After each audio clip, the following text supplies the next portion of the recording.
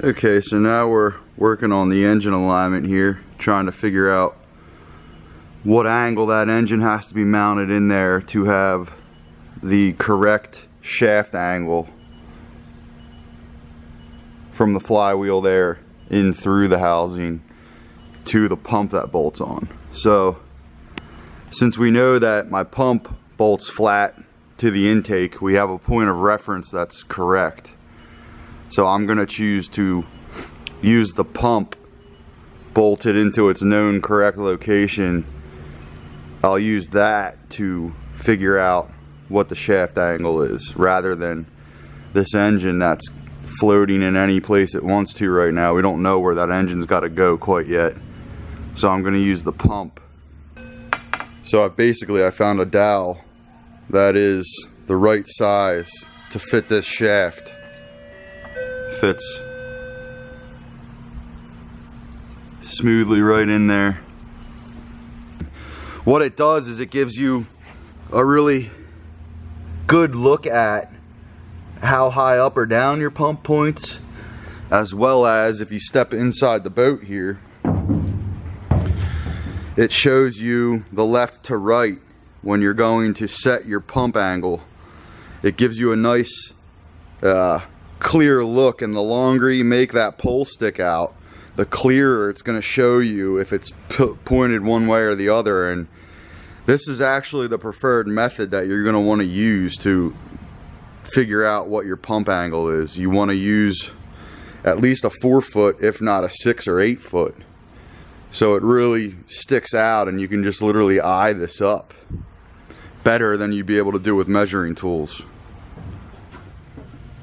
so here's a look at the finished and shimmed pump angle. It's pretty dead flat. If anything, it's slightly, slightly pointed upward, but pretty dead flat to the eye. And I had to do some grinding on the the flange to make it come to the to the left just a little bit and now I have it dead straight to the center line by eye so now we're ready to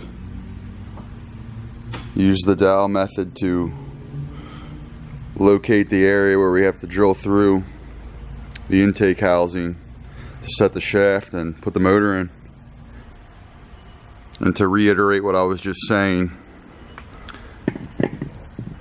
the pump will bolt into its spot here and I'll be able to slide that dowel in through the pump into the intake housing and it's gonna make contact or rough contact somewhere to show me where the proper shaft angle is gonna have to come through. So here's what I've come up with for the, the dowel.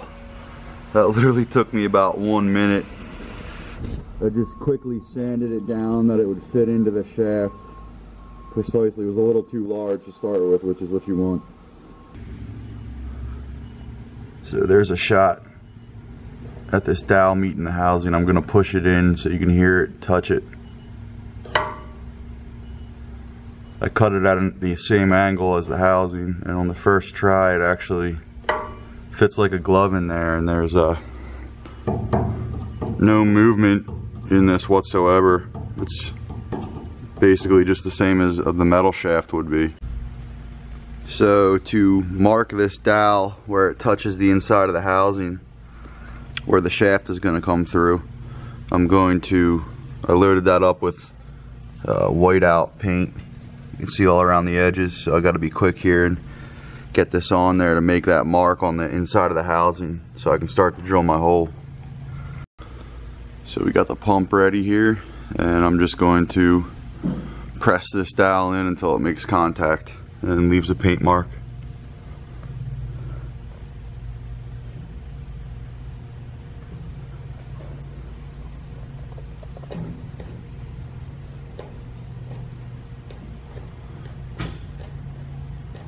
Get that paint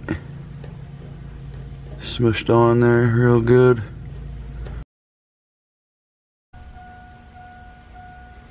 Alright, here we have the dry fitment of the engine shimmed up.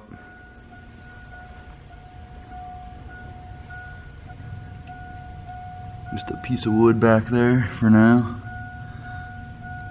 These are the pieces that I'm using to make my final decision. I'm going to be cutting the rubber off this mount. That's pretty good. All right, here we have the dry fitment of the engine shimmed up.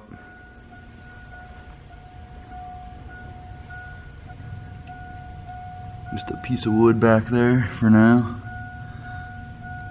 These are the pieces that I'm using to make my final decision. I'm going to be cutting the rubber off this mount.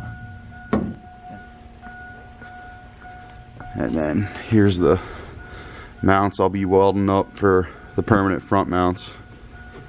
It's a quarter inch material. I think three of them stacked together. Shaft slides in and out of the crankshaft yoke, indicating that there's no binding with the engine angle.